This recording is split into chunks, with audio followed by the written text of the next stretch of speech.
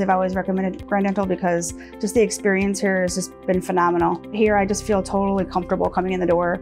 The family and I are all here for orthodontics specifically. I'm the one that started orthodontics first, and then my son Noel, and then we just progressed with the other ones.